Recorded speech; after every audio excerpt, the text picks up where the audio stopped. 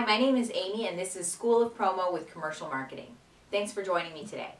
I want to talk to you about neoprene fabric. Neoprene is my favorite fabric. I think it has a great high perceived value and it was made popular by Built New York.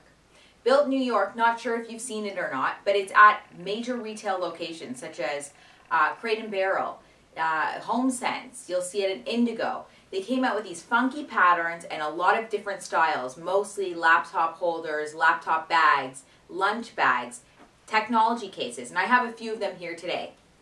This here is the Market Tote from Built New York.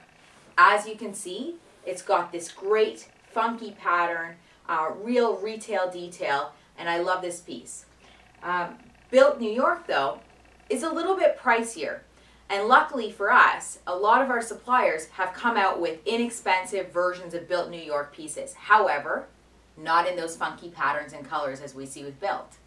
So here's another example of a less expensive lunch tote, brand new, um, also made of this neoprene fabric.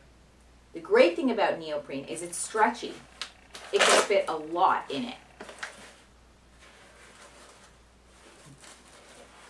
We've also come out with technology cases. So things like a cell phone holder. This great piece, only about a dollar. A dollar. That's a great trade show giveaway. Still's got that high perceived value with a neoprene fabric, one color imprint, great for holding cell phones or cameras. Here's the Built New York equivalent.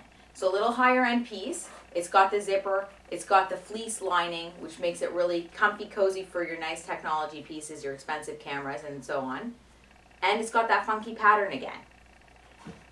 So neoprene, in short, is available in many different styles, mostly tablet holders, laptop bags, lunch totes, technology cases. It's new, it's fresh, and it's got that high perceived value, and you need to be buying it. Thanks so much for joining me. I'm Amy from School of Promo and Commercial Marketing, and I hope to see you again soon. Bye for now.